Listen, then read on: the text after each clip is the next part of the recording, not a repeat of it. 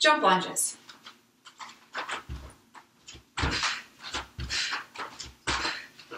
What we want to watch for is a tall torso and you control that knee down towards the ground.